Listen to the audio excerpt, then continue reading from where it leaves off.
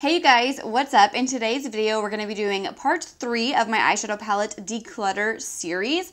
This is going to be the final part, so we're going to be going through the rest of my palettes. We're also going to be going over the palettes that I put in the maybe pile, so I hope you guys are all excited about today's video. If you are, please make sure to give it a thumbs up and subscribe to my channel if you're not already. Also, make sure you guys check out part one and part two of my eyeshadow palette declutter series if you guys have not seen those videos already. And yeah, let's go ahead and get started. So as you guys can see, I have a lot of nice palettes on the table right now. I'm probably going to be keeping most of these, so I'm going to go ahead and preface it with saying that because I did put a lot of these that I really like on the table for the first part of the video. So first up, we have the new ColourPop Just a Glitch palette. This is part of their like 1999 collection, I believe is what they called it. And I literally just got this. I have not even touched it yet. I actually really like the color story. I think this is a super cute palette. I haven't used it, so I am going to be keeping this one. As you guys know, I am keeping like all of my ColourPop palettes palettes because I do want to do a ColourPop palette ranking video. If you guys are interested in seeing that video, let me know in the comments down below. Then we have three of the new ColourPop Zodiac palettes. First up, we have the Taurus palette. I have only used one of these. Then we have the Capricorn palette and the Virgo palette, which this is the one that I used and I really liked it. I haven't used these other two palettes, so I am going to be keeping all three of these. Then we have the ColourPop Lust for Dusk palette. Also going to be keeping this palette, as I said. I am keeping all of my ColourPop palettes. This one is a beautiful palette that has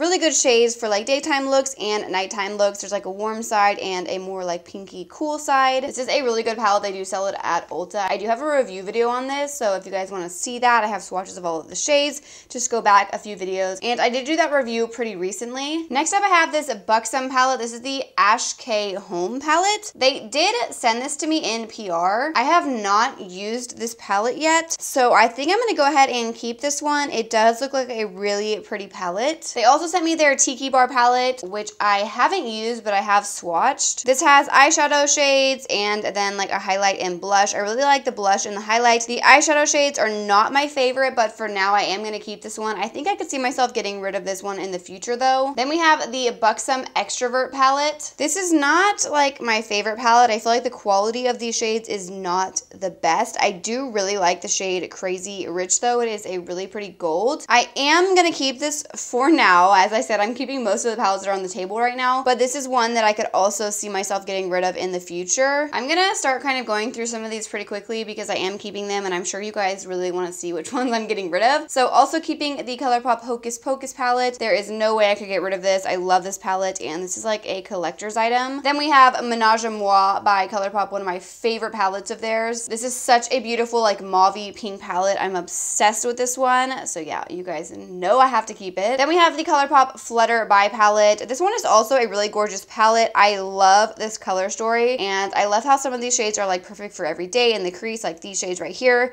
These shimmery shades in this palette are beautiful. So yeah, I love this one and obviously keeping it. Then we have the Natasha Denona Glam palette. This is literally one of my favorite palettes. I use this every single day. As you can see, I'm about to hit pan on this shade right here. It's like the perfect crease shade. I have to keep this. Obviously, it's probably my favorite palette or one of my favorite palettes. So yeah, definitely could not get rid of this one. Then we have the new ColourPop Tinkerbell palette. I literally just got this in the mail. I did a film an Instagram video with this palette, so if you guys don't follow me on there, make sure to follow me there so you don't miss out on that tutorial. But I actually really like this palette, so yeah, I am going to be keeping this one as well. Next up, we have this CoverGirl Full Spectrum palette. This is the Posh palette, which is like a mauve palette. I did enjoy this palette for a while, but I have not been reaching for it, so this is the first one I am going to be decluttering in today's video. Next up, I have these two e.l.f. bite-sized palettes. These are really good. These were pretty cheap. If these weren't so cheap, I probably would get rid of them. They are amazing quality, but these small size just kind of bothers me in my makeup drawers. I feel like they kind of get lost back there. But yeah, these are really good quality for the price. I think they're only like $3 each. So for now, I am going to keep them. Once again, I'm going to start going through these pretty quickly because I am going to be keeping a bunch of these. Sorry about that. I put them all on the table that I'm going to be keeping as I've said like 5 million times. But yeah, this is the ColourPop Bare Necessities palette. Literally like the best ColourPop palette ever. It is like the perfect everyday palette. It has warm tone shades, some neutral shades, some pinky shades. I am obsessed with this palette. I feel like I need to buy a backup of this one. Then we have Stone Cold Fox, which is like the cool toned palette, just like the last one. As you guys can see, I use this palette a lot. I'm obsessed with this one. This is like perfect for every day. It has rosy shades, like smoky shades, neutral shades, cool tone shades.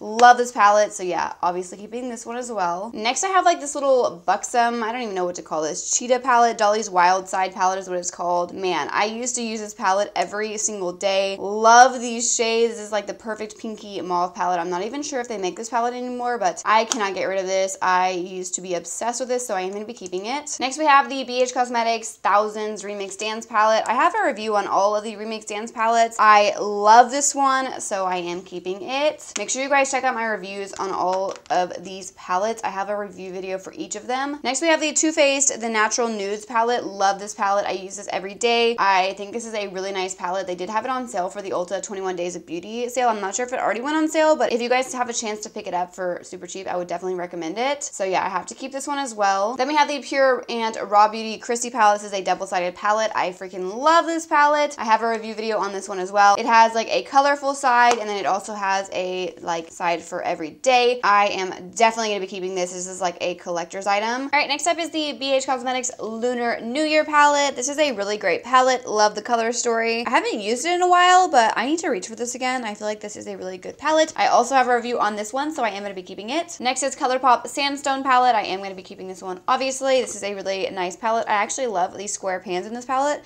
I'm not sure if ColourPop has any other palettes with square pans, but I really like the way that this one looks. Next up, we have this Makeup Forever palette, which is from years ago. I actually haven't used this in quite a long time, but I used to freaking love this palette. It has all matte shades, and the quality of these is amazing. So I am to go ahead and keep this one. Next, we have the Milani Gilded Getaway palette. First of all, the packaging of this is so cute. The quality is pretty good. The color story is not my favorite, but since this is so new to my collection, I am keeping this one as well. Then we have this ColourPop Bambi collection palette. I think I showed the other ones in my last video. And this is the flower palette. I love the color story of this one. The purple one is such a pretty palette. So yeah, you guys know I'm already keeping all my ColourPop palettes. Then we have the new ColourPop It's a Mood palette, which I just did a review video on this palette. It is such a gorgeous palette. Obviously, I am keeping this one. If you guys haven't seen my review video, make sure to go and check that out. Then we have the BH Cosmetics 80s Remix Dance Palette.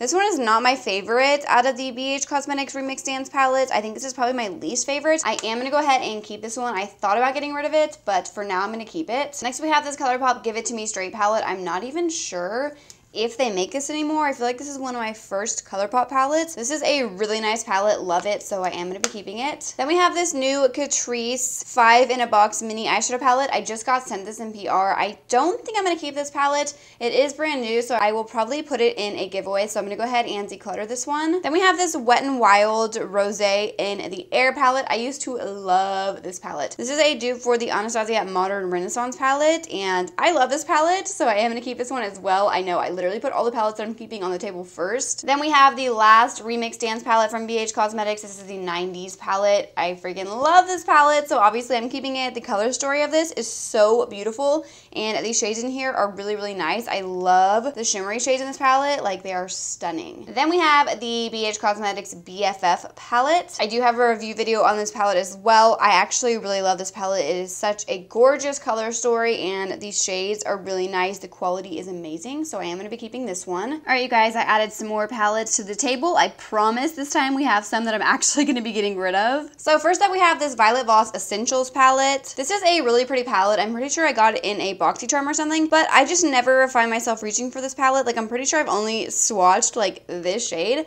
I'm not sure if I've actually even used the palette, so I am going to go ahead and get rid of this one. Then we have this Profusion Chestnut Eyes palette. I don't think I've used this one either.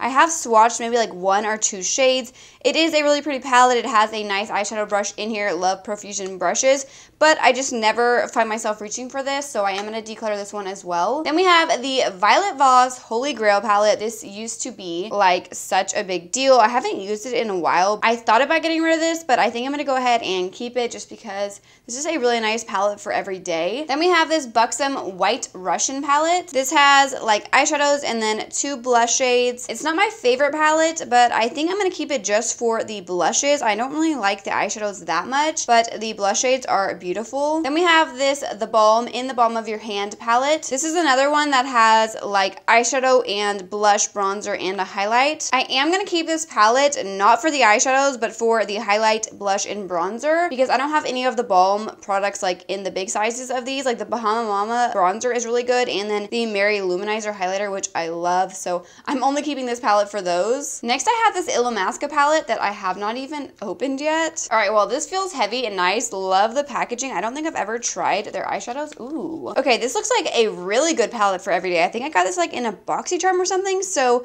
I think I'm actually going to keep this and try it out. Then I have three Pixi eyeshadow palettes. I am not the biggest fan of Pixi eyeshadows. We have the Natural Beauty palette. Then we have the Reflex Light palette and the Double Tap palette. I never use these, so I'm going to get rid of all three of these. Then I have these three Deca Scarlet palettes. These all have like a top section with like some eyeshadows, blush, highlight, and then the bottom has like lipsticks. Oh my gosh, this one is all messed up. I actually like never use these anymore. Like they're not bad. I just never find myself reaching for these. I think I'm gonna go ahead and declutter all three of these because I literally never use them. Next I have this Morphe palette. This is the Artistry Palette 15T. I think I've used this like literally one time. I don't like this color story, so I'm gonna go ahead and get rid of this one. Then I have this Ofra Pro palette, which I believe is like an all matte palette. I don't know, I'm not the biggest fan of this color story either either.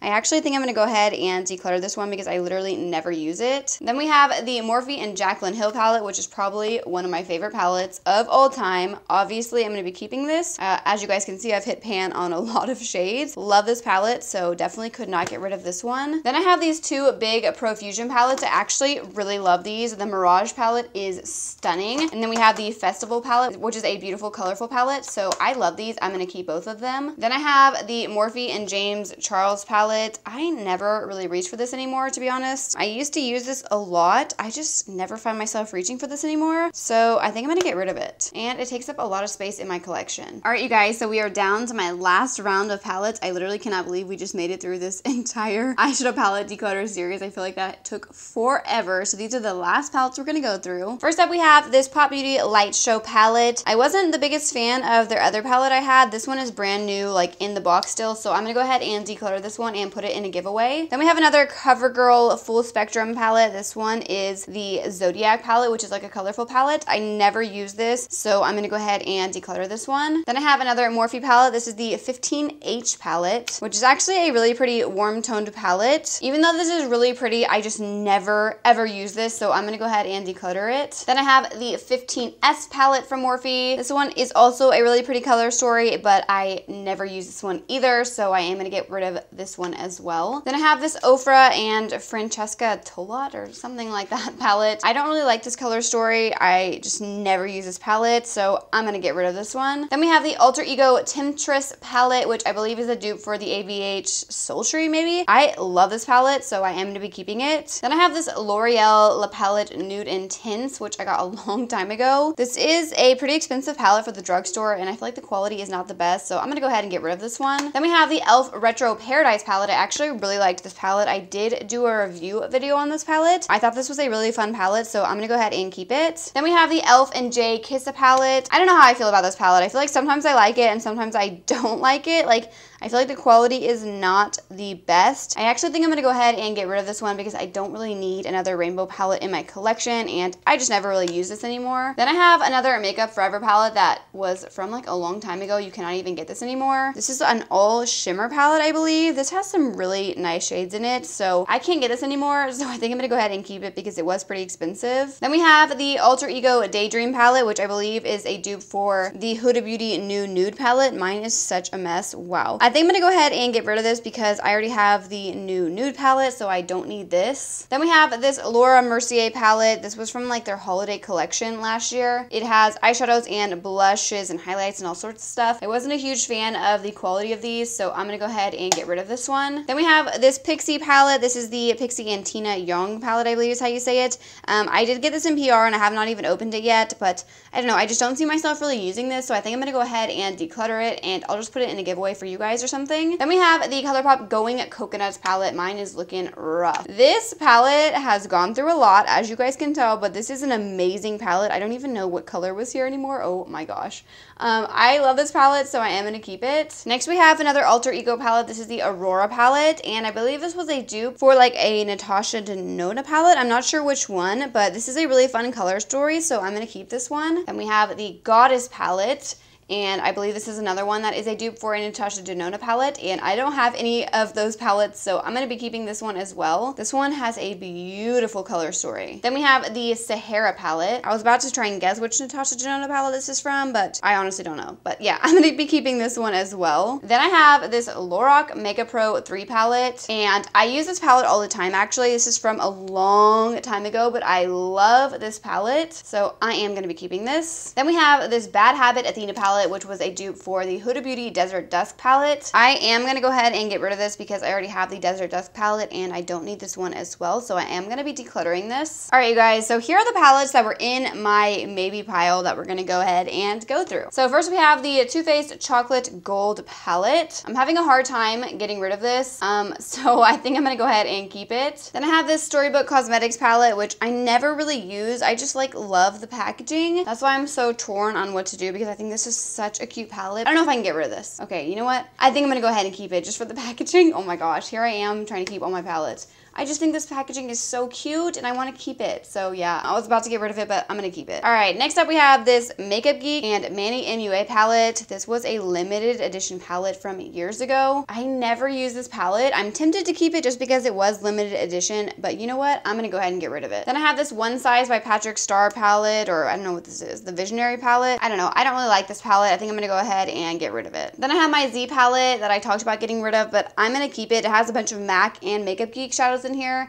So I'm just to keep this. All right, you guys, so I laid out all of the palettes that I'm decluttering. You literally cannot even see them all. There are 26 palettes that I decluttered in today's video, so I'm actually really happy with that number. So yeah, that completes my eyeshadow palette declutter series. I got rid of so many eyeshadow palettes. I'm actually pretty proud of myself because I got rid of a ton of them. If you guys haven't seen part one and part two, make sure to go ahead and go watch those. So I hope you guys all enjoyed this declutter. If there are any other declutters that you guys want to see, just let me know in the comments down below. So if you guys did enjoy today's video, please make make sure to give it a thumbs up and subscribe to my channel if you're not already. Also, make sure you have your notifications turned on. That way you don't miss out on any of my future videos. All you have to do is click the bell next to the subscribe button, and then you'll receive a notification every time I upload a new video. And I will see you guys in my next video. Thank you so much for watching.